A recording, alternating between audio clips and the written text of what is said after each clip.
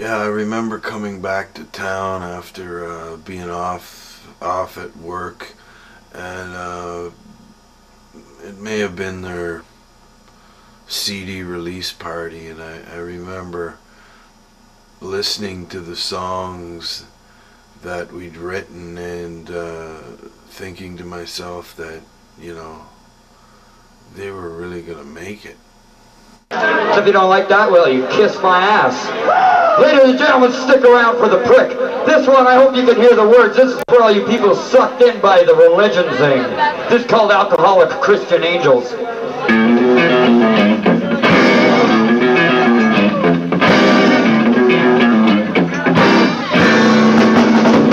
Well, she talks like she's fresh out of Sunday school. She's not so fresh under that dress. That was the Staghound X rehearsal night.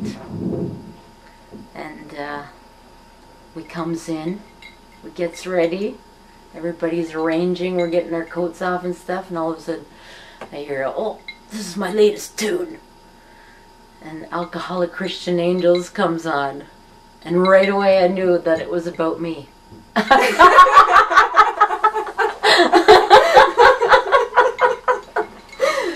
And I'm standing there and I'm like paralyzed because, oh, it was hard hitting honesty. It was brutal. and I could tell, you know, it was, every word was forcefully meant. And so I, I goes down in the basement of the Gibbard Street house there where there's nothing but caverns. caverns of carpeted basement. And I just had to go down there and wait till the friggin' song was over. I just couldn't bear to be amongst anybody at that point. It was kind of upsetting, actually, truth be told. Yeah, I've seen them spew their shit to chapels.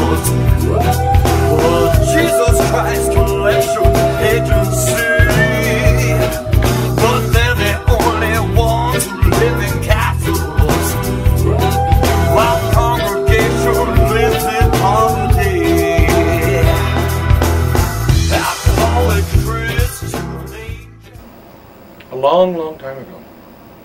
A long, long time ago. There was this guy, his name was Charles. Charles used to phone me all the time. Some nights he'd phone me four or five times in a row. He was a serious dude.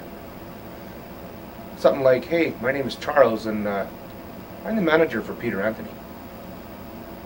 And uh, Peter's in town, he plays guitar, he's got a great background, lots of history. And I said, Peter who? Peter Anthony. Sorry, not interested. And I hung up. Five minutes later, the phone rings again, and it's Charles, the agent. Red-headed guy, slim, about 5'10", drove a taxi. Was no agent.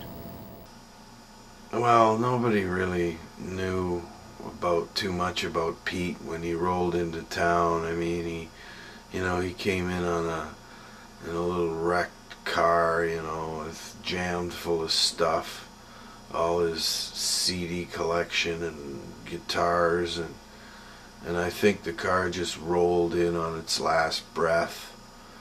And he may have even been arrested that same night. It wasn't a bad car. It was a pretty good car. and uh, I needed a brake job. The brakes were seized up on it.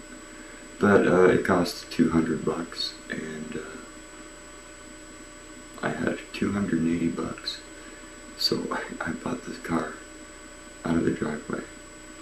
Uh, I found an insurance slip in the glove compartment, went and got a travel permit, loaded all my gear, guitars, amps, which is basically all I had in my stereo, albums, which go everywhere, and uh, all my music came with me.